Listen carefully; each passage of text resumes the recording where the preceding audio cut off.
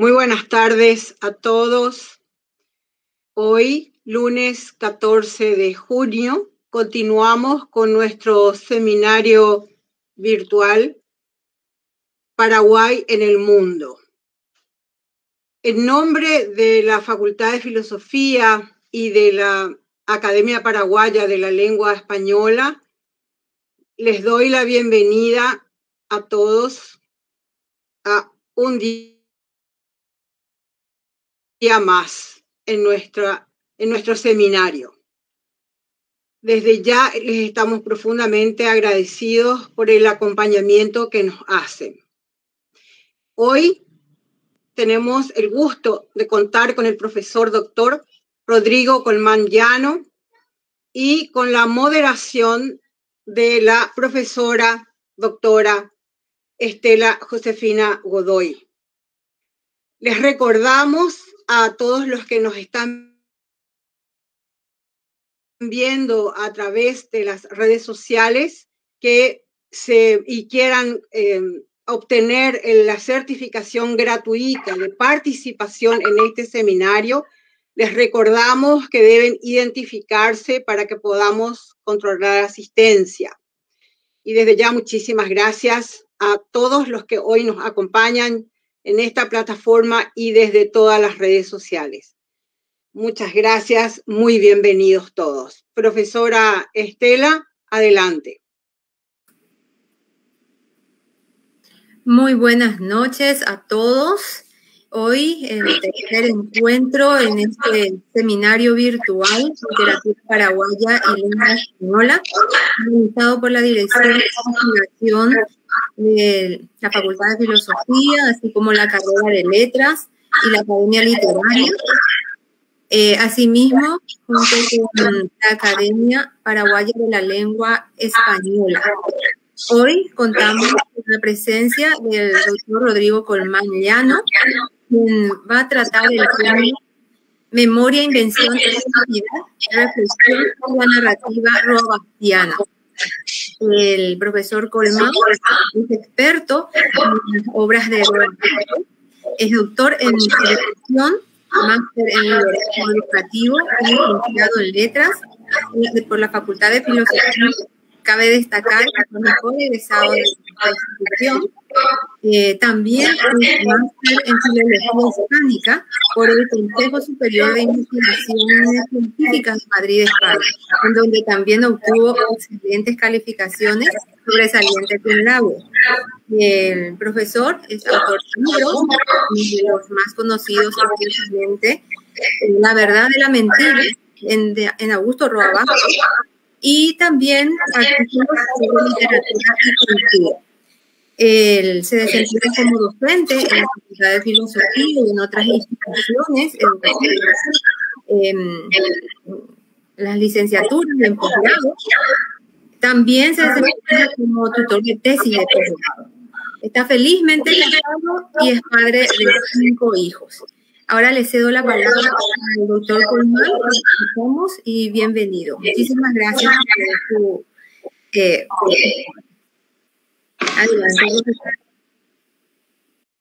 Muchas gracias, Estela. Muchas gracias, profesora Inca, profesora Marilis, profesora Miriam, está también Marlanga, la profesora Estela. Es un gusto estar esta tarde con ustedes. Y como soy padre de cinco hijos, eh, se imaginarán que la ficción invade diariamente mis días y todos los días en la vivencia con estos eh, pequeñitos se va expandiendo el límite de lo real cuando no lisa y llanamente eh, ingresar al ámbito de, de, la ficción, de la invención, de la creatividad. es una de mis tareas principales estar acompañándolo en la vida de estos pequeñitos y también eh, ir juntos por el camino de, la literatura, de la literatura, de, la invención. En la vez ocasión tuve el gusto de referirme a obras de Roa Bastos, pero más de una aproximación teórica.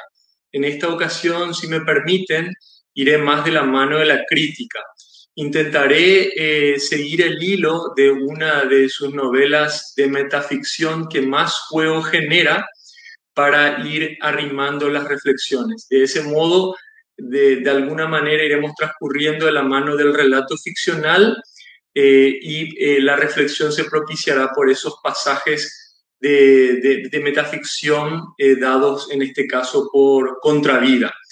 Contravida a mí me da la sensación de que una de las novelas más integradoras de todos los textos de ficción de Robabastos, porque es la que establece mayor cantidad de relaciones intertextuales con otras obras del mismo autor, inclusive si cabe más que, el propio Supremo. Además, junto a, precisamente esa novela, Yo el Supremo, es el texto más metarreflexivo y autorreflexivo ya que reflexiona sobre la escritura y sobre la literatura de Roa en una estructura especular, es decir, la literatura se mira en el espejo de sí misma. La escritura da testimonio sobre la escritura y la literatura se cierne sobre la literatura. Entonces, ese va a ser un poco el, marco del recorrido eh, y ustedes me ayudarán sumando con reflexión, sumando con sus propias lecturas, sumando con sus propias interpretaciones aquello que pueda decir de modo incompleto o parcial eh, o impreciso. Aquí también, como en la ficción, se nos da la chance de, completar aquello que queda dicho. La ficción por medio del relato y en este caso eh, por la interpretación de ustedes en, lo que no sepa eh, decir suficientemente. Como muchos de nosotros eh, que hemos leído la obra de Roa, sabemos que Contravida se levanta sobre los escombros de la excavación.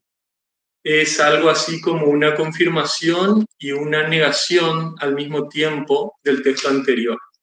¿Por qué decimos que es una vinculación? Porque eh, de confirmación, porque se toman o retoman o repescan los hechos del relato anterior que hacen referencia explícita al episodio de la perforación o túnel y el final hacia los presos políticos. Si recuerdan, la excavación se cierra de modo, por así decirlo, abrupto con el término de la, aventura evasiva. El, el, personaje allí relatado eh, en su aventura vital dentro del marco de ficción eh, queda trunco por un desplome, por una falla que así como acaba su vida ficcional, termina acabando también el relato. Por ese lado es de alguna manera como una suerte de confirmación, porque viene a proseguir aquello que queda interrumpido en ese entonces. Y por el otro lado decíamos negación, ¿por qué? Porque hay modificaciones, algunas de ellas sustanciales, de los sucesos de la excavación. Este prolegómeno de conexión de los dos textos ya señala uno de los temas que propulsan contra vida, ¿sí? la identidad. La identidad es uno de los temas que, que anima y que motoriza muchos de los relatos de, de Roa, muchos de los, de los relatos de, de, literatura en general, como Fuentes, la literatura, como decía Fuentes, la literatura para los contextos de Latinoamérica trata de inventar una voz de aquella voz que fue callada por la historia, o de la opresión, o de la dictadura, o de las vidas que se truncan históricamente hablando, o aquellos que fueron enviados a la periferia existencial, eh, que no pudieron hablar, que fueron amordazados, o cuya voz quedó trunca, o cuya voz fue cegada desde la raíz. Desde ese punto de vista, la literatura de, de Roa en general, en Contravida en particular, es una suerte de recuperación de la identidad, ¿sí? O mejor dicho, la revisión de la identidad a través del viaje en este caso. Un viaje vital, por un lado, la vida en su dar mucho que hacer constituye un trayecto, una andadura, una aventura, y también el viaje que el, el personaje narrador, y después se va a tomar distancia ese personaje narrador, eh, eh, ese, ese em, discurrir de su existencia vivencial, por un lado, y de su viaje desde el centro a la periferia, como se va a ver más adelante. Recordemos que se evade de una presión de reos políticos en Asunción, dentro del marco del relato, y huye hacia la periferia de tierra adentro. Y también veremos cómo ese movimiento inicial de huida se troca en un movimiento final de búsqueda. El mismo Roa, mucho antes de publicar Contravida, señaló de manera hasta cierto punto precisa lo que sería su texto. Contravida es una especie de retorno, pero a un lugar fuera del origen. No solamente la tierra natal, sino a ver el mundo como al comienzo. Este anuncio es una simplificación de la novela. Por supuesto, no se puede contar todo en un anuncio eh, lo que significará la novela, pero al mismo tiempo una suerte de, cápsula semiótica porque recoge algunas de las palabras que expresan conceptos clave eh, de, de, la novela. ¿sí? Este evadido cuya fuga quedó, como, como se dijo, trunca en la excavación, termina consolidándola en esta ocasión. Y aquí es donde el relato no solo prosigue el anterior relato, sino lo transfigura, lo contradice, lo supera y lo complementa. Es un movimiento dialéctico complejo que puede ser, eh, analizado más o menos como eh, una, una tesis inicial contradicha por una antítesis y redicha o reconfigurada en la síntesis del relato nuevo, del relato transfigurado, ¿sí? Esa búsqueda de la identidad por medio del viaje, ya sea en el tiempo, ya sea en el espacio, ya sea vivencial, eh, traduce una idea de tratar de develar quién es uno a los ojos de uno mismo y quiénes son los otros a los ojos de esa, de esa misma mirada. Porque acuérdense que los personajes individuales de Roa Bastos funcionan también a la manera de personajes transindividuales. Son uno en el relato, pero por lo tumultuoso de su historia, por lo rico de su historia, por lo vinculado en su historia a la historia de otros, ya fuera del ámbito de la ficción, hombres reales que han vivido, vienen a ser como una suerte de repesca, de reconfiguración, de recapitulación de ese muchos en uno, o de ese uno que cuenta muchos destinos, muchas historias. Y a este punto se hace necesaria la especificación del objeto del viaje, ¿sí? Eh, no solo es viajar para recuperar la identidad, es, rebasar la posesión de la identidad por parte del personaje narrador, ¿sí? No solo se busca recapitularse a uno mismo, sino también rebasarse en, en la unidad simple por una historia más grande que nos cuenta a todos. Y ahí es donde entra otro eje temático relevante, que es el de la búsqueda de la tierra sin mal. Hemos escuchado en, en numerosas ocasiones cómo este es uno de los elementos eh, temáticos centrales de la literatura roabastiana, es como una de las fuerzas temáticas, uno de los puntos de irradiación que desde el corazón propio del, del mito late para configurar la historia. Y como vamos a ver más adelante, como aquello que es profundo, que es hondo, que es subterráneo, que es secreto, termina poco a poco eh, emergiendo hasta el territorio propio de la superficie. Y no solo la superficie, sino también la cumbre. Recapitulo el eh, eh, recomienzo el, acompañamiento de, de este narrador personaje. La identidad usurpadora, impersonal, de la cual se viste el narrador protagonista para huir, hay que recordar que se disfraza de otros, de otro, mejor dicho, ¿sí? Toma también elementos propios de un personaje de Perucho Rodi y también se vincula ficcionalmente a la propia, al, al, propio trayecto histórico y vital de Roa Bastos, es decir, es un personaje que va tomando de otras entidades de ficción, acaso también de otras entidades del mundo real.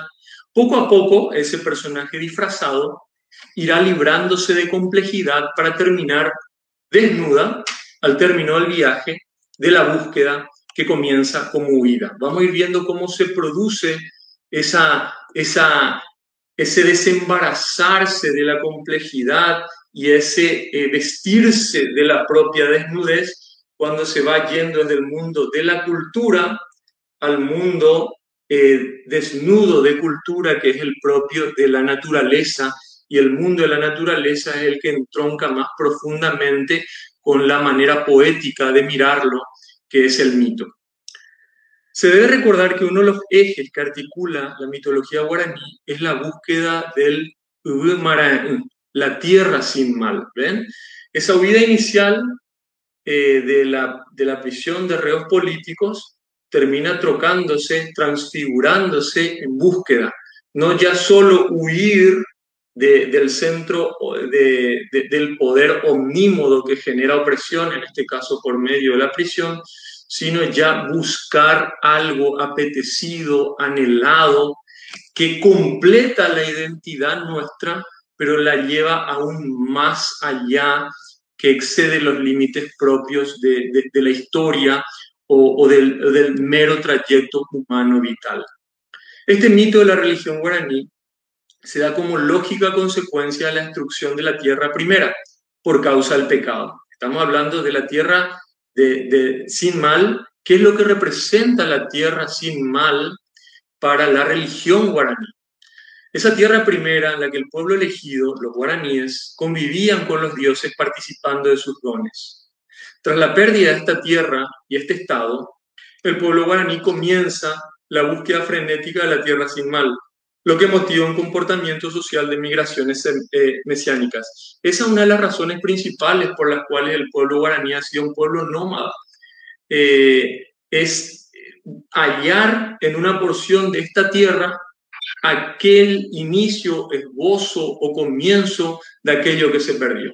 Este segundo paraíso, tierra sin mal, según el relato primigenio, esto en los relatos recopilados por Cadogan, por Meliá, según este relato primigenio, se encuentra en una porción de esta en la que vivimos y solo se puede entrar en ella a través de la muerte o en casos excepcionales del estado de gracia. ¿Cuál es el estado de gracia para el guaraní? Huille, la gracia, las gracias, ¿sí? que se obtiene mediante el, el estricto ejercicio ascético de la oración que es danza y es canto. ¿sí? El, la entrada eh, el punto de iniciación que nos hace llegar hasta el umbral del mundo mítico que nos permite ingresar a la tierra sin mal es el Ahuillé. Por eso este relato está construido justamente por palabras, que es una manera de invocar, de convocar ese estado de gracia que es el Ahuillé. Por medio de la palabra es que uno accede a ese estado de gracia. Al Urumarán solo se puede acceder en vida como queda dicho, mediante la huille, que viene de la mano del correcto uso del máximo don de los dioses, el aubú, la palabra.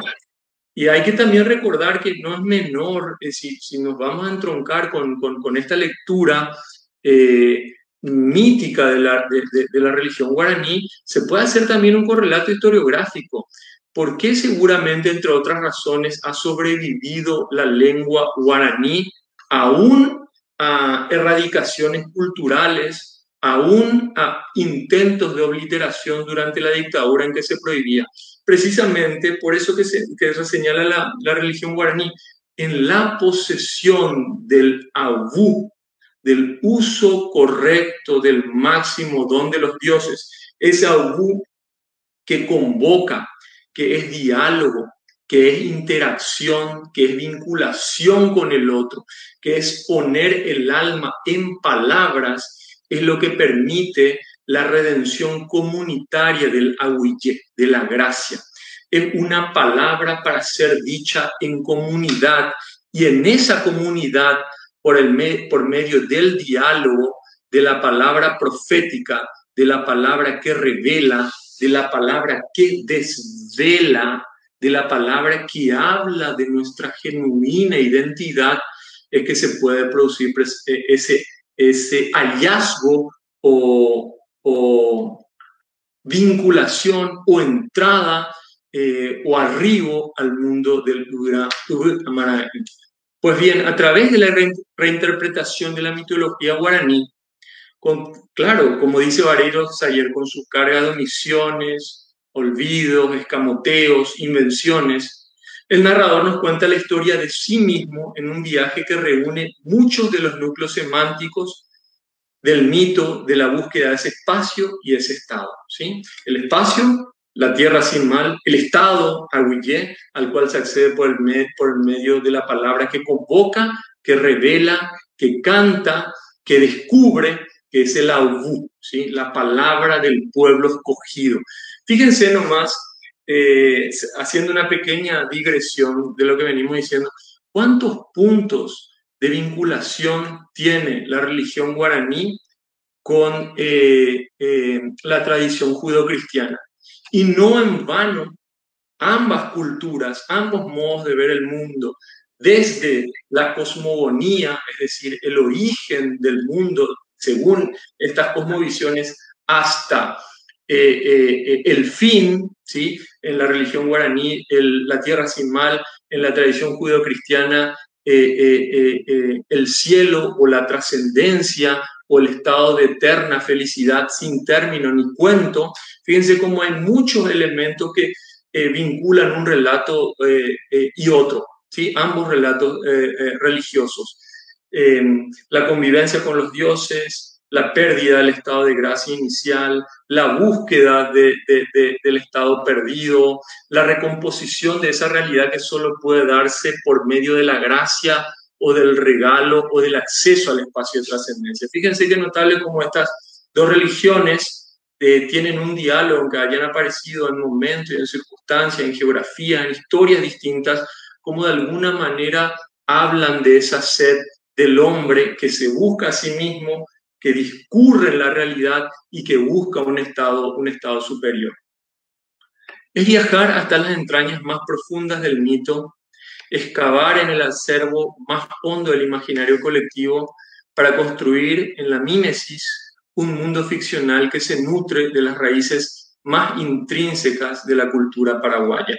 Eso también eh, no, es menor para pensar más allá de los errores históricos, más allá de, elementos que hablan de, desavenencias, eh, más allá de, diferencias que, desunen, em, por qué el mestizaje en Paraguay se elaboró de una manera, eh, de una manera eh, tan rica, tan feraz al paso del tiempo, porque estos dos relatos que explican identidades, que explican modos de ser, modos de mirar, eh, modos de, actuar en el mundo, terminan como anudándose, terminan como estrechándose profundamente.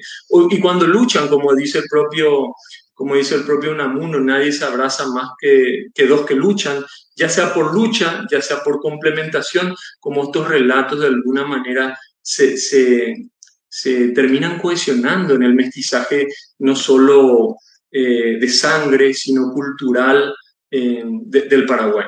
Así esta creación vuelve a ser necesidad de encarnación de un destino, voluntad de inscribirse en la realidad vital de una colectividad.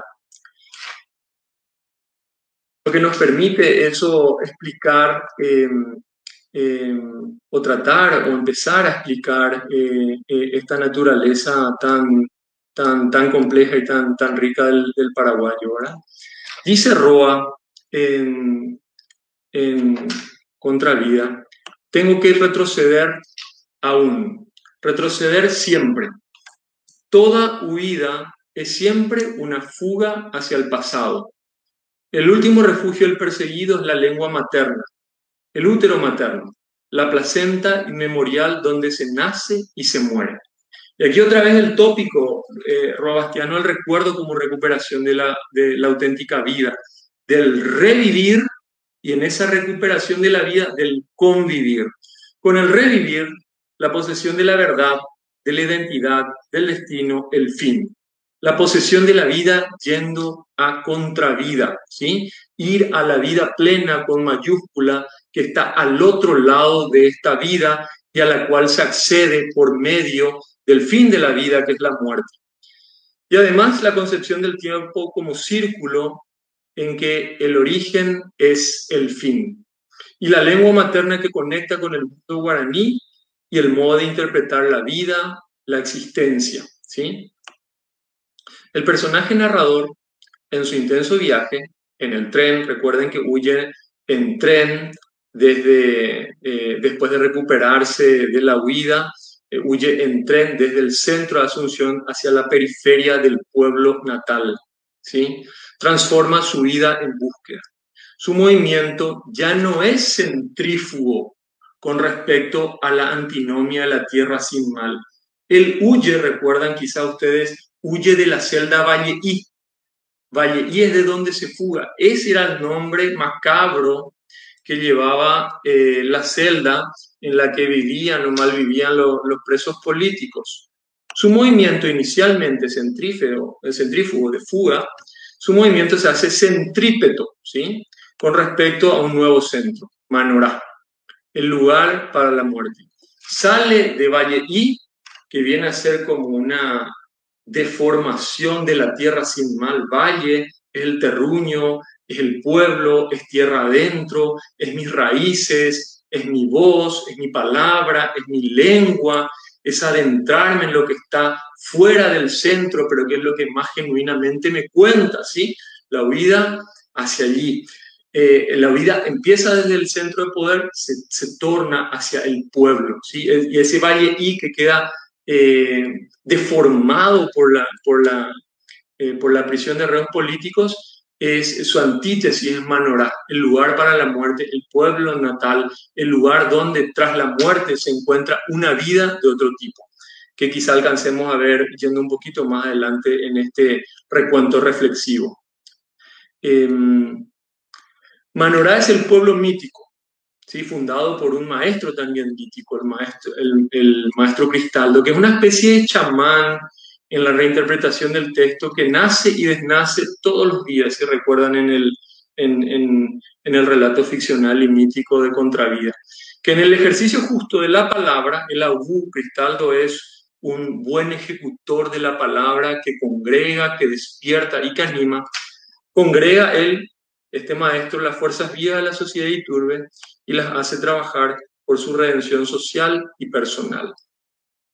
He sido un fronterizo, me dije. El relato, el, habla el narrador protagonista de Contravida.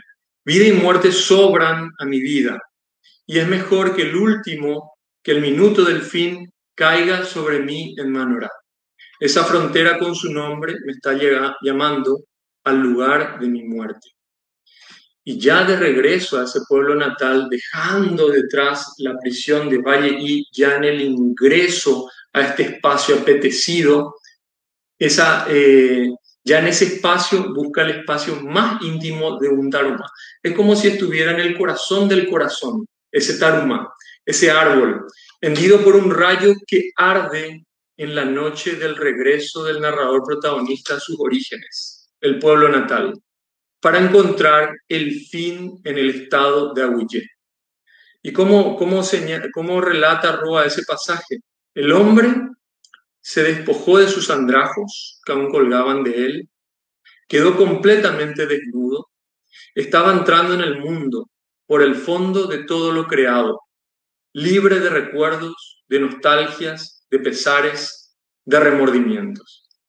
De esa manera sencilla y a la vez hermosa, Roan narra en clave ficcional y más que ficcional mítica ese, ese llegarse hasta el umbral propio del mito, ese llegarse a las puertas que traspuestas, que traspuesta hace que entremos a una realidad que transfigura nuestra identidad y la lleva al ámbito de la trascendencia. Ahora reflexionemos un ratito sobre la escritura como liberación, ¿sí? Nos encontramos ante un personaje que llega a las puertas de su liberación, ¿sí? Un personaje que comienza el relato huyendo y que termina buscando en la recuperación de sí mismo y de su destino. La escritura como liberación. Es una obsesión que el narrador personaje vive desde su niñez mediante su interrogación acerca de la finalidad de escribir y la posibilidad de escritura como creación. Escriben, recuerdan, eh, recuerdan tal vez lo que hayan leído contra vida, aún contra el mandato de su padre, ¿sí? A la luz de una lámpara encendida por luciérnagas. Su padre le prohíbe hacer esos relatos porque los encuentra de alguna manera heréticos en su reinterpretación del pasaje bíblico de la lucha de Jacob y el ángel. Lo encuentra herético en su enunciación de, ese universo semiótico, la transposición de, a otro, que es un poco la literatura de Roa. Él utiliza elementos propios de la tradición judio-cristiana y los eh, vincula al ámbito propio de la religión guaraní. Utiliza elementos propios que yacen en la cultura contada en castellano y los pone en vinculación con la cultura contada y vivida en guaraní, en una suerte de, transposición dialéctica, en una suerte de mestizaje, en una suerte de relación de vasos comunicantes, ¿sí? que lo uno vinculado a lo otro no termina siendo simplemente lo, ni solamente lo uno ni solamente lo otro, sino articulado en una síntesis, en un nuevo relato interpretativo, en una nueva cosmovisión, en algo que de alguna manera trata de contar cómo vemos y sentimos y percibimos la realidad desde un punto de vista estético los paraguayos, ¿sí? Ante esa prohibición que queda dicha antes de la digresión, el personaje narrador para continuar con el ejercicio sin que su padre pudiera descifrar manuscritos, ni seguir las huellas de los personajes, ni entender sus historias, escribe, inventa un lenguaje críptico ininteligible para este. ¿sí? Y allí, por supuesto, eh, es fácil hacer la vinculación con eso que muy bien decía Fuentes. Contar la historia de los hombres que la historia oficial ha callado requiere la invención de una nueva lengua. Eso es lo que Roa trata de pergeñar, de huir o cuando menos de, buscar, de, de expresar artísticamente esa nueva lengua que cuenta lo callado, que cuenta lo callado. Y también está la referencia a palimpsesto. Seguramente yo el Supremo es más evidente en este sentido, pero aquí también aparece ese texto escrito que se borra y que es reemplazado por otro escrito, que a su vez se borra y que es reemplazado por otro escrito, eh, y que cuando aquello que sirvió como capa para borrar se va desarticulando, los textos inferiores emergen en un texto laberíntico, críptico, como motor de significado, como semiosis compleja, en un texto eh, polifónico, eh, dialéctico, rico de voces, a veces eh, coincidentes, a veces contradictorias, a veces complementarias y otras veces en estado de, de puja o de, o o de lucha. La respuesta visceral a esa tortuosa lucha por la liberación estilística y existencial en la expresión de la verdadera realidad solo puede ser la siguiente. Las historias fingidas deben contar la verdad como si mintieran. Así continúa con su ejercicio de la palabra que inventa y descubre al mismo tiempo en el recurso de la mímesis. Y acá está lo, muy bien señalado en, su momento por Vargas Llosa cuando se refiere a la literatura como la verdad de las mentiras. No es una verdad adecuación propia de la filosofía en que el discurso se adecua a la realidad, sino una verdad revelación, una verdad en que la palabra sirve para correr el velo sobre aquello que oculta nuestros ojos o una verdadera historia o una identidad profunda y secreta o una misión o un destino, es decir, hacer un hallazgo, un descubrimiento, correr el velo, desvelar, revelar aquello profundamente auténtico que eh, queda oculto eh, ante la evidencia de los ojos y que solamente por un ejercicio liberador que asocia la palabra eh, permite ser arribado o cuando menos, cuando menos esbozado, cuando menos incoado. Ese acto de liberación radical se da cuando el personaje entra al, al tarumar viendo como, como dijimos apenas más arriba. Aunque es interesante anotar que justo antes de hacerlo apunta una sola palabra en el cuaderno en el que cuenta toda la historia. ¿Se acuerdan? Una historia que Roabastos la, la prefigura cuando cuenta sobre qué será eh, Contravida. La propia novela Contravida está contada en clave sintética dentro de Contravida, ¿sí? Y el personaje que va viviendo, el narrador protagonista va viviendo su historia y contándola, lo está haciendo en el cuaderno. Y cuando está a punto de arribar al Tarumá, cuando el, el final de su historia se toca con donde la comenzó en su pueblo natal, cuando el círculo se cierra, él entra a ese lugar apenas después de anotar una sola palabra en ese cuaderno. Esa inscripción de esa última y única palabra, quizá el augú del discernimiento, se puede entender como el paso final antes de la posesión completa de la huye en la tierra sin mal. Es una lectura posible, seguramente hay otras, quizá más ricas, quizá más completas, eh, pero eh, que a mí me parecía interesante compartir con ustedes hoy porque eh, enamora o reenamora pensar nuestra literatura desde, desde, desde esa perspectiva. Eh, Bastos ha sido un gran escritor, por supuesto, ha tenido textos de una alta, de una alta calificación estética, de un alto nivel estético, obras canónicas, por así decirlo, Yo el Supremo, eh, Hijo de Hombre, con volúmenes de cuentos El trueno entre las hojas. Ha tenido novelas menos felices, ciertamente, no voy a dar el nombre para quien eh, eh, esté probablemente en desacuerdo conmigo. Contravida seguramente no es una de sus novelas más felices en lo episódico o en lo de peripecia narrativa, pero una de las más logradas en, capacidad de, auto, de autopoiesis, de metaficción, ¿sí? Eh, de claves interpretativas para entender la propia literatura robastiana, o por lo menos el influjo que le llevaba a tratar de narrar como narraba. Y seguramente también pone en evidencia uno de los elementos a mí me parece más hermoso de la literatura robastiana, que es el texto ausente o el texto doble. Eh, eh, eh, que es el texto cuya presencia supone la ausencia de otro texto que oculta y revela. Y este caballero, con novelas más felices, con novelas tal vez no tan bien ensambladas como algunas de las principales que cité, tiene este siempre ejercicio, este ejercicio tan rico que es precisamente el del texto doble.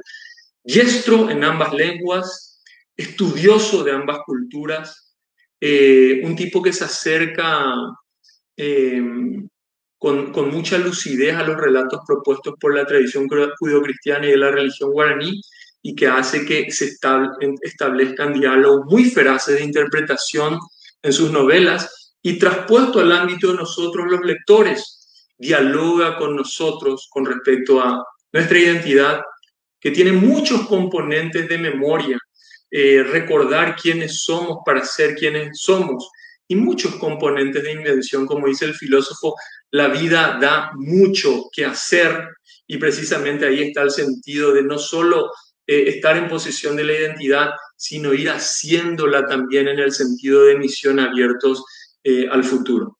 y hasta aquí mi, mi intervención. Ojalá no haya sido eh, ni, muy extensa y que haya dejado algunos núcleos de reflexión para que podamos dialogar nosotros con nosotros mismos y con las personas que nos rodean y que comparten esta afición eh, por la literatura en general y la Roa Bastiana en particular. Muchas gracias. Profesor, usted había mencionado que del corazón del mito nace la historia, textualmente, ¿no? Y mencionaba la búsqueda de la tierra sin mal. En este sentido, saliendo de la novela que usted acaba de hablar, sino en líneas generales sobre las obras de Roa Bastos, este mismo mito que se repite, se puede vislumbrar en las otras obras. ¿En qué medida, permite lograr esos objetivos de creación al, autor, a Roa, este mito? El de la tierra sin mal, Estela. La tierra sin mar. Sí, eh, viene a ser un poco, eh, en algunos textos aparece con una rotundidad y una claridad prácticamente incontrastables. Eh, en Contravida, acuérdense que Madame Sui viene a hacer una novela posterior a Contravida y recupera elementos propios de la, de la religión guaraní, de la mitología guaraní. En Yol Supremo hay una reflexión muy profunda con, con la identidad eh, que se, engarza con el mito, en Hijo de Hombre lo propio, ¿sí? Eh, viene a ser como, eh, y es confeso por Roa, viene a ser como uno de los motores temáticos, una de las fuerzas de irradiación que componen sus textos. Está en el universo, por así decirlo, extradiegético, es algo de lo cual se nutre Roa, lo incorpora vivencialmente y lo genera en su, en su, en su obra poética eh, y que ese universo extralingüístico se configura en el universo de sus relatos. Ya, eh, ya narrativo, como que, dicho, también en el, universo de, sus poemas.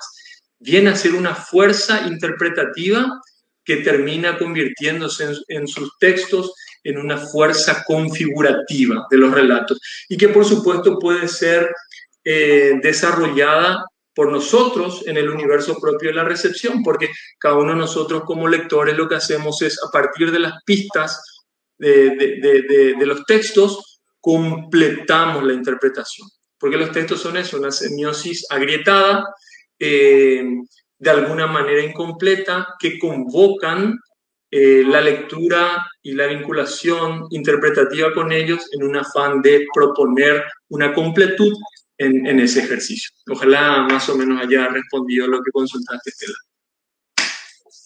Sí, profesor. Eh, realmente para comprender las obras de Roa es, muy necesario entender también en qué consiste este mito. O sea, eh, como Roa no es tampoco un autor que sea muy accesible a todo el mundo, ¿verdad? Es básicamente elitista, es muy preciso, hablo como docente, ¿verdad? Dar a conocer primero ese mito como para adentrarnos después en, en algunas que otras obras, ¿verdad? Y con respecto a la docencia, profesor, me atrevo a, preguntarle, eh, como dije, ROA no es muy accesible, ¿verdad? Usted como docente, ¿cómo, cómo abordaría eh, las obras de ROA eh, con los jóvenes, con los adolescentes? porque nosotros los expertos lo leemos, ¿verdad? Digamos, nos gusta esa obra, pero para que a otros que aún no están, digamos, eh, inmersos en ese mundo de él, ¿cómo abordaría su obra? ¿Esta o, todas, como usted? Perfecto. Em, es una pregunta medio comprometedora porque es de difícil respuesta, pero por, precisamente por eso es particularmente válida. Eh, em, mira, eh, Rua em, quizá la mejor manera de aproximarse a él para, establecer puentes de vinculación, eh, pensando concretamente en estudiantes que están en el colegio. Probablemente lo mejor sea seleccionar para ellos relatos, cuentos, ¿sí?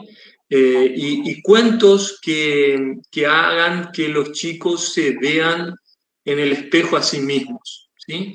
Cuentos que, por ejemplo, yo no haría chico de colegio de entrada El pájaro mosca, por ejemplo, es directamente afán de que, de que no, yo no quiero leer Roa, ¿verdad?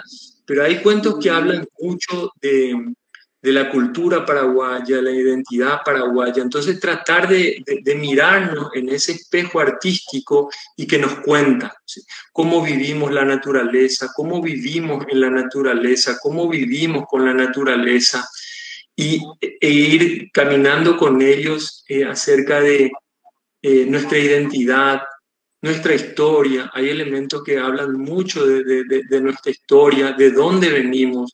No solo me refiero, me refiero a, a, Francia o a las guerras civiles, sino elementos que cuentan quiénes somos, de dónde hemos venido y que los chicos puedan eh, mirarse en esos textos y mirar también al futuro, ¿verdad? Roa decía que la, tragedia se enamoró del Paraguay, que nuestra historia es particularmente trágica. Y sus relatos, si bien no son historiográficos, ¿verdad? Porque muchas veces se le inventa la historia, pero después la rebasa o la contradice, porque claro, es literatura, no historia lo que él hace. Sin embargo, hace ver elementos de historia, ver elementos de antropología, ver elementos de paraguayología que nos hacen ser quienes somos y cómo actuamos. Entonces, que vean un poco el espejo creativo que es la literatura. Lo repito, en relatos más bien breves, que si bien Roa es particularmente barroco, tiene un ejercicio de la lengua muy rico, muy complejo, muy trabajado, eh, que, vean esos textos que hablan de nuestra cultura, de nuestro modo de ser, de nuestra historia, que a veces duele, que a veces revela, que a veces, pero que nos cuenta. Entonces, ver la literatura también como un espejo y de alguna manera como, eh, como elemento que nos pueden señalar algunas preguntas abiertas al futuro y cada uno de nosotros la va a responder. No le tocará a Ro hacerlo, sino a cada uno de nosotros como herederos de esta cultura, de esta identidad, abrazarnos a ella y abrirnos eh, hacia, hacia el futuro con esas interrogantes, muchas de las cuales quedan planteadas en la literatura robastiana. ¿Por qué tantas injusticias? ¿Por qué, ¿Por qué tanto verticalismo? ¿Por qué tanta unidireccionalidad en el diálogo? ¿Por qué las, las personas no se encuentran? ¿Por qué solo hay bandos? ¿Por qué solo hay poseedores y desposeídos? ¿Por qué solo hay centro y periferia? ¿Por qué hay tantos olvidados de la historia? ¿Por qué se callaron tantas voces? Eh, ¿Por qué no podemos hablar mirando de frente a veces? ¿Por qué no entendemos que el diálogo y la discusión son necesarias? Son todas cuestiones interesantes que él plantea con respecto a esta isla rodeada de tierra que es nuestra, nuestro bendito y complejo eh, Paraguay, ¿verdad? Ojalá haya servido más o menos para, para respuesta. Sí, muchas gracias, eh, doctor Colman. Eh, ¿Alguna persona quiere hacer una pregunta al doctor? Bueno, eh, esto me hizo recordar justamente una afirmación del doctor Peiro en el encuentro anterior que mencionaba las obras de Roa como no muy accesibles. Él no es escritor de masas, decía, ¿verdad? Y, por eso me, vino la pregunta, ¿cómo hacer que se expanda, digamos, la lectura de, sus obras, eh, sembrando la semilla en, en, los más jóvenes? ¿Usted estaría de acuerdo con lo que él había dicho? Roa no es escritor de masas. Roa es un escritor que tiene una escritura, como él se refería en, contraria, un tanto críptica es decir, requiere un esfuerzo consciente y sostenido. No es un lector con el cual arribes directamente del texto a la, comprensión del mismo. Eh, ahora, eh, eh, una de las mejores maneras que tenemos como docentes de invitarlos a nuestros estudiantes que, que lo lean a Roa y con ojos críticos, no de veneración, eso también es bueno. Es importante un poco desmitificar. Nos encontramos ante un escritor de primerísima línea pero con cuyos textos podemos discutir, estar en desacuerdo, tomar distancia, coincidir con tal personaje, con tal otro no. Sobre todo la mejor manera que tenemos de invitarlos es que si nosotros, si lo creemos necesario, si lo creemos una voz indispensable, nos guste o no, pero una voz literaria indispensable, con nuestro entusiasmo, con nuestro afán interpretativo, con nuestro afán de discutir con los textos y quizá hallar interpretación, cuando nos ven en ese ejercicio, en ese quehacer, eh, en lugar de, de, darle interpretación a los chicos, le hacemos descubrir que quizás sea necesario o inteligente o lúcido o divertido o sano entrar en discusión con sus textos. Entonces, en lugar de sus textos, transmitimos el gusto por tratar de vincularnos con esos textos. Y tal vez recuperar la noción clásica de por qué se lee o se hace literatura. Eh, la idea de docere, de enseñar, de aprender, de crecer eh, eh, intelectualmente, y la idea de delectar, gustar, sentir un placer, encontrar algo que produce disfrute. Ciertamente el placer, la recompensa de, de, la literatura robastiana es una recompensa que se halla tras esfuerzo y tras perseverancia, eso sin duda. Ahora, esa es particularmente deliciosa cuando se alcanza. Esa es particularmente eh, fecunda cuando se alcanza. Y seguramente desde ese entusiasmo de discutir por ese texto se puede comunicar una invitación que quizás sea genuina para los estudiantes. Muchas gracias, doctor. ¿Tienen alguna pregunta los asistentes en el panel?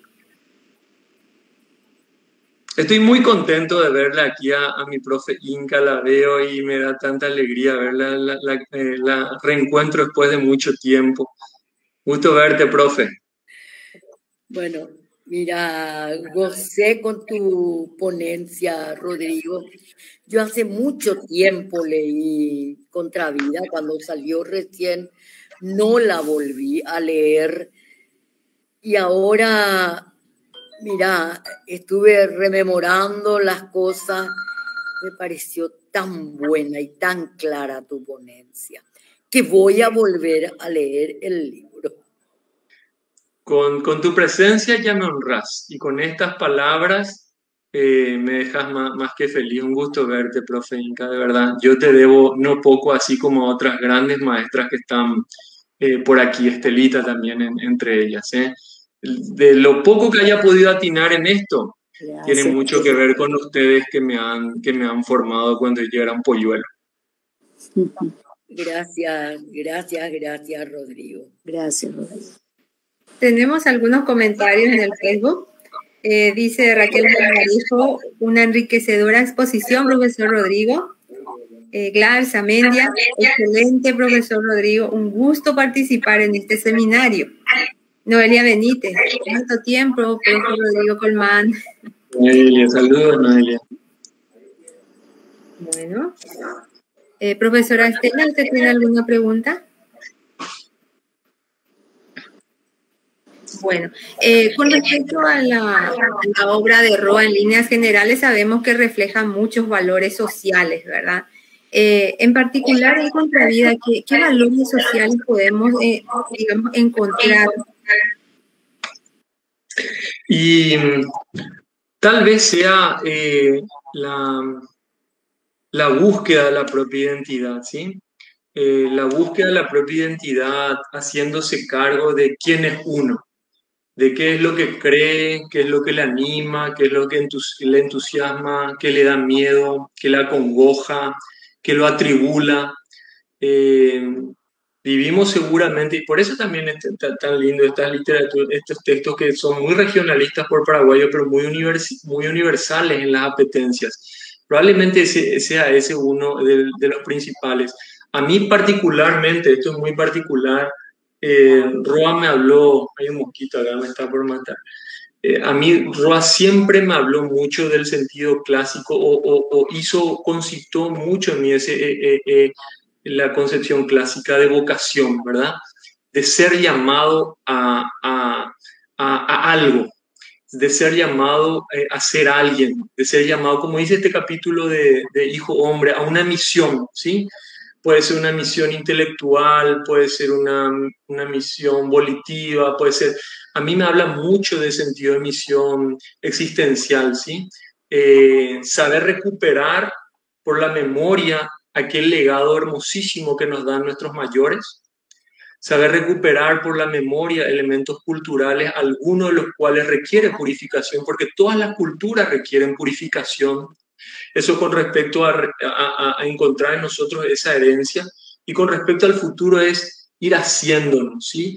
Que la tragedia no tenga la última palabra, que el dolor no tenga la última palabra, que el desconcierto no sea eh, eh, el final de todas nuestras aventuras o desventuras, que tenemos mucho para decirnos los unos a los otros, que tenemos mucho para buscar individual y colectivamente, que tenemos mucho de lo que enorgullecernos y que tenemos mucho todavía por, por trascender. Es algo así como una suerte de el destino de sus personajes individuales siempre me animó eh, eh, a, a, buscarme, a definirme, eh, a sentirme orgulloso de la cultura a la que pertenezco, a reconocer elementos que requieren mejoría en mí mismo y en un no solo recapitular historia ahora, sino abrirme a mañana, si cabe con esperanza, siempre en, ese afán de, de ir hacia algún puerto que nos explique, que nos legitime y que nos lleve en último, que nos habla en último término de trascendencia. Esa es algo así como una lectura ya eh, individual de lo que Roa ha significado para mí en, estos años de vida, en sus mejores textos y en sus textos no tan buenos, ¿sí? Siempre he sabido o he tratado de ver eh, esos elementos que hablan de, la historia, del presente y, y la apertura hacia quizá otra cosa y mejor. Muchas gracias, doctor. Realmente una manera muy interesante y atractiva de, de enganchar, digamos, a, los lectores. Eh, tenemos aquí un comentario de la profesora Esther González. Dice, sí, comenzar con la cuentística para encontrar las claves. Es una manera de enganchar a los jóvenes. Y un saludo afectuoso también a Estela y reconocido y agradecido, otra, otra de mis grandes maestras. ¿eh? Bien.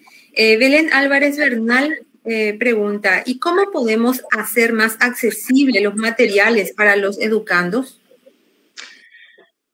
Buena pregunta, y tal vez, Juan, no, no, convenga tanto hacerlo eh, edulcorado ya, Chupe, ¿verdad? Eh, nosotros lo que podemos es invitarlos trabajar de facilitadores o de puentes culturales entre nuestros alumnos y los textos y hacerles descubrir tal vez nuestro propio apasionamiento de por qué y para qué uno podría aproximarse a esos textos, ¿sí? Eh, pero descomponerlo en términos de mera interpretación es, simplificar textos artísticos, ¿verdad? Y, y, esa es labor de cada lector, interpretativamente aproximarse a los textos. Eh, porque corremos tal vez dos riesgos con respecto a Roa. Uno, eh, uno tener una actitud meramente reverencial, tipo, estamos hablando de uno de los principales maestros de la lengua castellana, lo cual es verídico, ¿verdad? Pero en lugar de acercarlo con eso, lo hacemos, o es muy difícil, o no lo van a entender, entonces ya lo, lo mitad y cuera van a decir.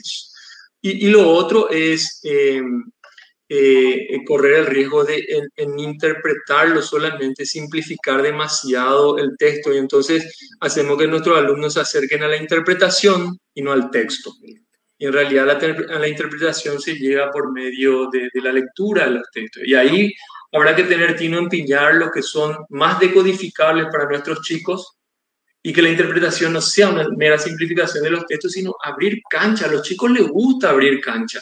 A los chicos no les, no les gusta solo encontrar respuestas, a veces encontrar más preguntas o elementos que generen diálogo, o hacer de Roa un tipo polémico también. de presentarlo a Roa para discutir con Roa, por ejemplo.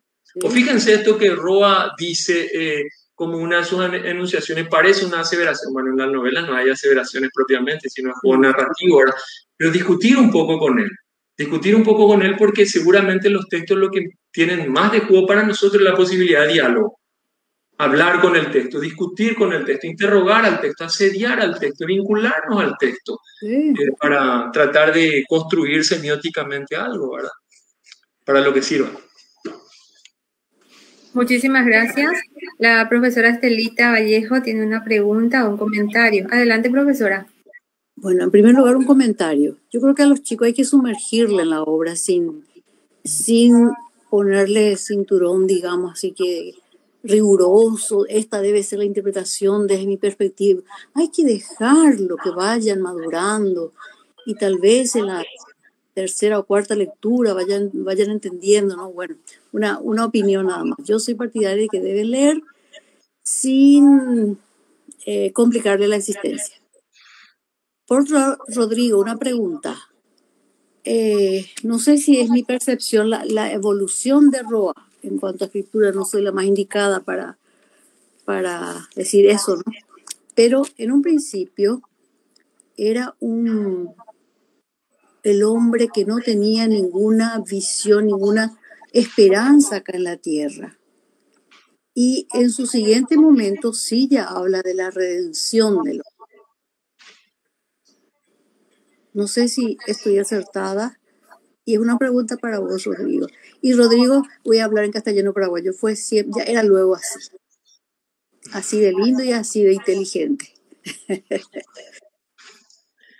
Y, profe, em, en realidad em, se puede hablar de, un, de, un, trayecto, de una, ¿cómo decirlo? Puede haber una lectura historiográfica de, de, Roa, ¿verdad? Y por dónde fue yendo.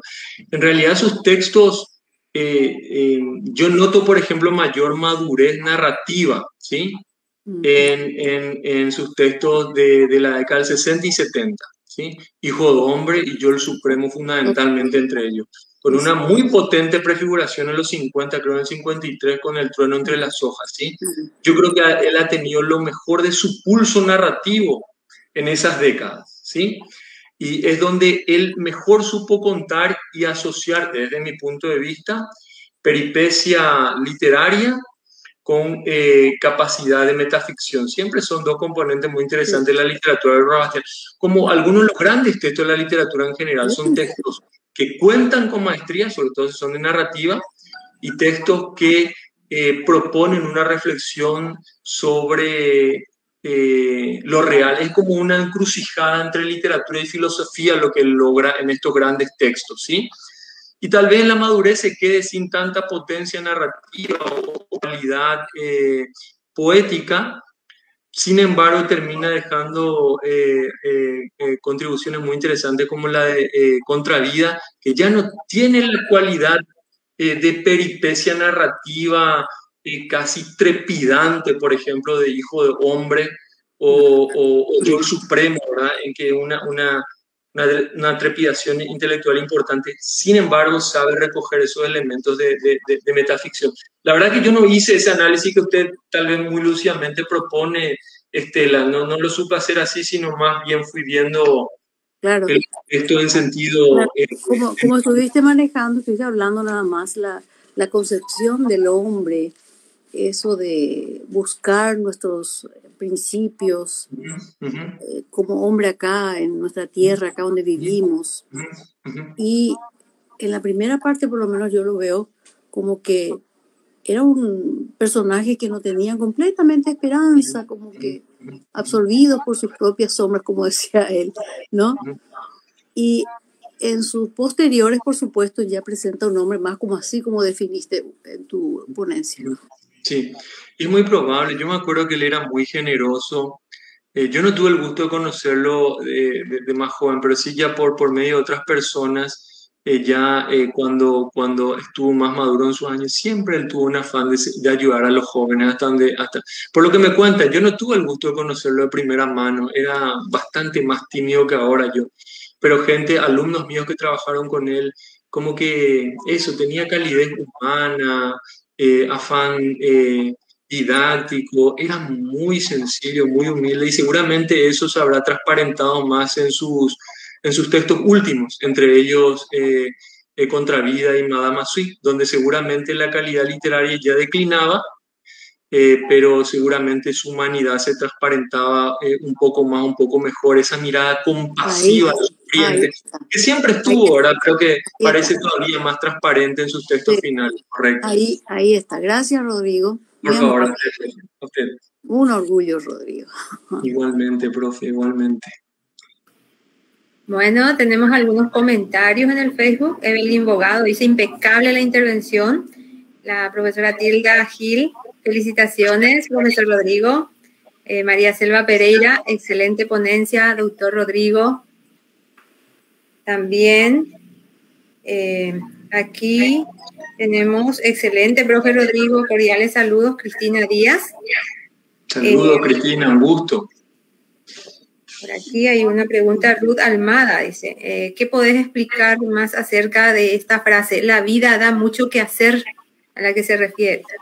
Ah, sí, eh, es de un filósofo, no quiero nombrarlo porque tal vez me equivoque, ya a esta altura se me, se me pero una frase de un filósofo muy hermosa que es la vida da mucho que hacer, la vida es que hacer, la vida es trabajo, la vida requiere creatividad, la vida requiere solución de problemas, la vida requiere que uno se haga cargo de ella y la vida requiere que uno... Eh, vaya viviendo, la verdad, no simplemente se ha vivido por ella. Entonces, una de esas, una de esas frases disparadoras filosóficas muy, muy interesante. Creo que era, a ver si meto la pata, si lo hago después alguien me corrige. Creo que Ortega y Gasset quien decía, la vida da mucho que hacer. Y me parece una frase redonda y muy hermosa en su aparente simplicidad. Y aquí, si te parece, Estela, porque tengo otro compromiso, voy a tener que verme obligado a, eh, a a terminar este gusto de coincidir con, con, mis maestras, contigo, con compañeros, algunos escribieron compañeros, alumnos circunstancialmente que tranquilamente me pueden enseñar a mí un montón de cosas. Eh, ya creo que tocamos a la hora, nos pasamos un poco más, entonces no, me parece que también por una cuestión de caridad me conviene no continuar aburriendo al, al auditorio. Muchísimas gracias, profesor. Limpia Esteche también, excelente disertación. Felicitaciones. Otra maestra, otra maestra. Un abrazo, Limpia. Eh, bueno, ya que tiene otro compromiso, vamos a ir cerrando. Eh, prácticamente haré una especie de, conclusión de lo que usted dijo, muy enriquecedora su ponencia, profesor. Excelente realmente. Eh, básicamente se diría que Contravida entonces es una obra integradora por su intertextualidad eh, también es de carácter autorreflexivo, y el viaje es el, que constituye el medio para la búsqueda de, identidad. eh, realiza una recapitulación de la historia. Básicamente, el lector de Contravía tiene que haber leído todas las demás obras, ¿verdad? Para comprenderla acabadamente. Y dos palabras también eh, encontrado en esta obra que llamó mi atención cuando usted estaba exponiendo, revivir y convivir, eh, básicamente haciendo eh, alusión a la reflexión en esa búsqueda de uno mismo y el convivir a ese mundo exterior que lo ayuda de alguna forma a encontrarse. Y podría decirse entonces que la escritura es la liberadora en esta obra, ¿sí? Eh, la palabra es la que desvela lo auténtico que se oculta a los ojos, como usted lo había dicho. Entonces, excelente su ponencia, muchísimas gracias. Estoy segura de que todos hemos aprendido muchísimo con su, su exposición. Y bueno, eh, damos entonces por terminada esta, terminado este encuentro de hoy, muy interesante, enriquecedor. Agradecemos muchísimo a los organizadores, a la Dirección de Investigación, a la carrera de Letras, a la Academia Literaria, a la Facultad de Filosofía, también a la Academia Paraguaya de la Lengua Española, a nuestros organizadores, y los esperamos a todos el próximo miércoles 16 eh, a las 4, a las 16 horas, eh, con nosotros en esa ocasión la doctora Marlana Pizarro, estudiosa de la literatura paraguaya, eh, quien va a desarrollar el tema literatura e historia en Paraguay, un camino de ida y vuelta. En esa ocasión estará como moderador eh, del seminario el profesor Pedro Caballero. Así que muchísimas gracias y nos vemos oportunamente el miércoles a las 16 horas. No se pierdan esa presentación que seguramente va a estar imperdible. Acá Seguro que Pizarro. No se la pierdan. Un gusto. Gracias por todo. Un...